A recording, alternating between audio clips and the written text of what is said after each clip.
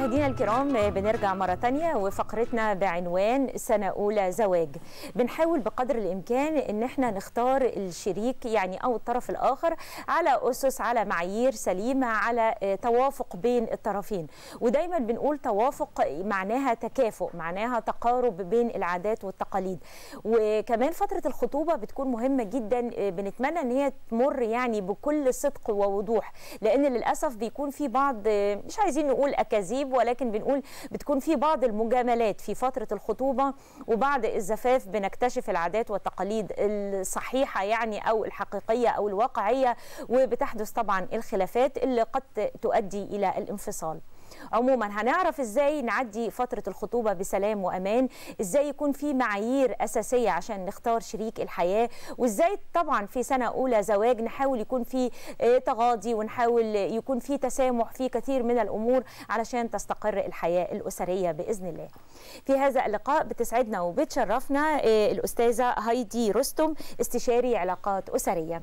أهلا بحضرتك معانا يا هايدي شرفتينا ونورتينا. بنور حضرتك اتشرفت كل سنة وأنت طيبة في البداية. عدينا كده بأعياد جميلة وكتيرة وعندنا كده طاقة إيجابية عشان نستأنف إن شاء الله العمل وحياتنا الاجتماعية بشكل سليم وربنا يسعدنا جميعا يا رب. آمين يا رب. كل سنة وحضرتك بألف خير وجميع المشاهدين. هايدي اسمحي لي في البداية وإحنا بنتكلم عن سنة أولى زواج أنا عايزة أرجع شوية لمرحلة اختيار شريك الحياة ومرحلة الخطوبة لأنه للأسف أوقات المعايير بتختلف ويعني مش بنعرف إزاي نختار شريك الحياة. فقول لنا كده بشكل سريع ومبسط إيه هي المعايير الرئيسية اللي كل طرف يحاول على أساسها يختار الطرف الآخر؟ آه هو في البداية كده أول ما بنيجي نختار شريك الحياة أنا في البداية لازم أكون أعرف نفسي كويس جدا يعني قبل ما أتكلم أو أقول أنا محتاجة شخص بمواصفات واحد اتنين تلاتة أنا أولا لازم أكون عارفة نفسي عارفة إيه هي احتياجاتي إيه رغبتي أو إيه هدفي من الزواج ذات نفسه تمام. لما بعرف وأحدد أهدافي إيه بالظبط أنا بقدر أختار بشكل جيد وبقدر أختار المواصفات أو الحاجات اللي بتناسبني حتى في فترة الخطوبة بقدر أتعرف على كل الصفات الصفات سواء الإيجابية أو السلبية. ومن خلالها أنا بقدر أقيم إيه الحاجات المهمة اللي أنا محتاجاها من الشخص اللي قدامي اللي هتساعدني على إني أكمل معاه وإيه الحاجات السلبية اللي أنا ممكن أقدر أتغاضى عنها أو هتكون مش مهمة بالنسبة لي تمام. علشان كده بقول كل إنسان لازم يكون عارف نفسه كويس جدا قبل ما أعرف الشخص اللي قدامي وأكون مدرك لاحتياجاتي ورغبتي من الزواج مبنية على أساس إيه تمام. بنيجي بعد كده لمواصفات أو حاجات مفروض تكون موجودة في شريك الحياة من البداية أنا بكون محددها علشان أقدر أحد شوية من الخلافات بعد الزواج. لأن أنا مش بختار علشان أعيش مع إنسان مثالي أو إن أنا أكون مثالية. وإن الحياة الزوجية دي حياة يعني ما, ما فيهاش أي خلاف أو مشاكل لأ المشاكل طبيعي إن هي هتواجهنا وهي سمة في الحياة حاجة طبيعية صحيح. وحاجة أساسية مم. ولكن أنا بختار الإنسان اللي في بيني وبينه توافق إلى حد ما مم. بنقدر نتوافق أو بنقدر نشترك في بعض الصفات أو في بعض الحاجات خلينا نقدر نكمل وحتى نتغاضى عن بعض العيوب اللي عندنا فأول حاجة ممكن نتكلم فيها فكرة الأخلاق دي رقم واحد لازم ما ينفعش أتنازل عنها أو أتغاضى عنها في شريك الحياة سواء كان رجل أو امرأة. بدليل حديث الرسول عليه أفضل الصلاة والسلام إذا جاءكم من ترضون دينه وخلقه فزوجوه. وده كان خطاب للنساء أو للآباء اللي هيزوجوا بناتهم.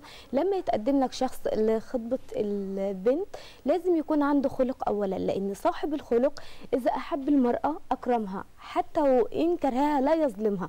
حتى لو ما بيحبنيش مش هيظلمني مش هيجور عليا. حتى إذا حصل انفصال مش هيشوه في صورتي أو هيطلع الأسرار اللي كانت بينا. فالخلق رقم واحد حتى برضو بالنسبة للزوجة في حديث قال وصفه بذات الدين تربت يداك. وفي حديث آخر من رزقه الله زوجة صالحة فقد أعانه على شطر ديني فليتق الله في الشطر الآخر.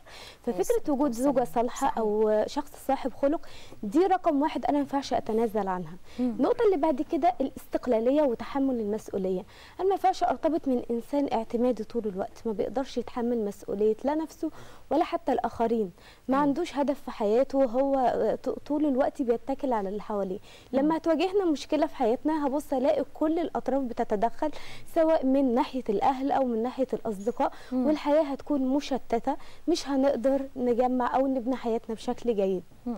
علشان كده فكرة الاستقلالية وتحمل المسؤولية بنقدر نستنتجها من فترة الخطوبة إذا كنا بنتعامل مع بعض بوعي شديد وفاهمين إحنا مخطوبين ليه أو ليه أصلا في فترة خطوبة فترة الخطوبة مش علشان الخروجات أو الفسح أو اللهو أو الكلام الكتير في التليفون اللي صحيح. كله مثالية مطلقة ومشاعر ووعود صحيح. وبعدين بنيجي نتفاجئ بالزواج اللي الواقع الحقيقي والطبيعي اللي إحنا المفروض بنعيشه طيب هايدي اسمحي لي بقى اقف. عند النقطة دي. أنا آه، سبتك تنطلقي كده لأنه كلام بالفعل مهم جدا ولكن اسمحي لي نقف كده سريعا كمان علشان وقتنا. آه، فترة الخطوبة موضوع تحمل المسؤولية. هنا أوقات كتير مثلا سواء ال- ال- الفتاة أو الشاب يعني آه، يقولوا لأ ده هو لسه ما اتجوزش لكن طبعا بعد الزواج لما هيبقى عنده بيت هيتحمل مسؤولية لكن هو لسه عشان في بيت الأب أو هي لسه عشان في بيت بابا وماما مدلعاها شوية لكن بعد الزواج هتتحمل مسؤولية. آه، هنا أوقات بتبقى في مؤشرات. آه هي فعلا ممكن تكون متدلعة شوية في بيت باباها لكن في مؤشرات تعرفنا. هل إذا كانت البنت دي بعد الزواج فعلا هتتحمل مسؤولية ولا هي هتفضل طول عمرها متدلعة؟ ونفس الكلام بالنسبة آه، للشاب يعني. إمتى نعرف برضو هذه المؤشرات؟ إمتى تكون فعلا مؤشر وإمتى تكون لأ هنتغاضى عنها وبعد الزواج إن شاء الله هتبقى يعني زوجة كويسة وهتتحمل مسؤولية. نقطة جميلة جدا. أنا إذا كنت هتزوج على سن ال 25 مثلا أو ال 30 مم. وتعودت الفترة دي كلها اللي فاتت وأنا لا أتحمل المسؤولية. ما وقفتش في مطبخ ما برتبش البيت ما بعملش أي حاجة. وعارفة إن أنا هتزوج في بيت أنا اللي هكون متحملة فيه المسؤولية أو زوجي مش هيقدر يجيب لي حد يساعدني. أيوه. فبالتالي ما أقدرش أقول أنا هكمل وهي هتيجي بعد الزواج هتكمل وهتبقى تمام. هيبقى الموضوع صعب جدا. آه. أنا ما اتعودتش حتى أرتب ال- الغرفة بتاعتي. مثلا والدتي بتعمل لي كل حاجة بتجيب لي الفطار لحد السرير. أنا كل يعني مم. كل حاجة أنا محتاجاها اللي حواليا بيعملوها لي. فما أقدرش أقول أكمل مع الإنسان ده و... و... وهنبني أسرة وهيكون هيقدر يتحمل مسؤولية تربية أبناء ويشيل مسؤولية بيت وهيجي بعد الزواج يعمل حاجة زي كده. الموضوع هيبقى صعب. نفس الكلام شاب طول الوقت آه، مستهتر أو بيدور على نفسه خروجات فسح اصحابه رقم واحد. والدته تعبانة بلاحظ ما بيروحش معاه عند الدكتور. وإحنا بنتكلم في التليفون فترة طب الخطوبة. اسمحي لي هايدي هل ده مرتبط بسن؟ يعني إذا كانت البنت مثلا 25 26 سنة فهي كده إلى حد ما كبيرة. نقدر نقول خلاص إن هي اتعودت. يعني لو كان الكلام ده بيصدر من واحدة لسه صغيرة 21 22 سنة هنقول لا إن هي لسه صغيرة وممكن بعد الزواج هتتحمل مسؤولية. هل هو مرتبط بمرحلة عمرية ولا مرتبط بتعود أكتر منه مرحلة عمرية؟ هو آه يعني أكتر من المرحلة العمرية فكرة التعود. لأن المفروض الأم بتشرك بنتها من وهي صغيرة. إحنا حتى الطفل الصغير أول ما بيبدأ يتعلم يمشي أو أول ما بيبدأ يمارس سلوكيات بنبدأ نعلمه. آه شربت في الكوباية دي آه، شيلها ودخلها المطبخ. أكلت في الطبق ده اغسله مكانك. المسؤولية بعلمها لاولادي من الصغر. فما أقدرش أقول إن أنا هستنى فترة كبيرة جدا لحد ما يوصلوا لسن الزواج أيوة. وأقول خلاص هم هيبدأوا يتبنوا السلوكيات دي فيما بعد. طبعا بيكون الموضوع صعب وما أقدرش إن أنا أقول لا هو هيتعلم. لا ال- السلوكيات وتحمل المسؤولية. أنا لازم ببدأه مع ابني من سن صغير جدا. علشان يكون مستقل وعشان يقدر يكون عنده تحمل المسؤوليه لو ما بدأتش معاه. هيكون صعب جدا بقى بعد ما يوصل العشرينات أو الثلاثينات أغير في سلوكياته أو أغير في عاداته ممكن أغير بس هياخد وقت وهياخد صعوبة. هيبقى صعب صحيح. ده يعني إحنا كمان في أحد اللقاءات مرة الإعلامية فأنا كنت بقول من نبدأ من ثلاث سنين أربع سنين فقالوا لي لا ده متأخر جدا. ده من أول يمكن سنتين ما الطفل يبقى عنده سنتين ويبدأ يمشي نعوده على تحمل المسؤولية بأمور بسيطة جدا. صح. طيب هايدي اسمحي لي علشان وقتنا بس نصيحة أخيرة بالنسبة للمتزوجين حديثا أو سنة أولى زواج. إيه الحاجات اللي نتغاضى عنها ونعديها؟ ولازم يكون في قدر من التسامح لأن بالتأكيد كل طرف مختلف عن الطرف الآخر. فعايزين نحاول كده نسامح بعض ونعدي علشان بإذن الله يكون في استقرار للحياة الزوجية. آه، في أول سنة زواج طبيعي إن إحنا تواجهنا خلافات وأنا عايزة أقول نقطة مهمة جدا.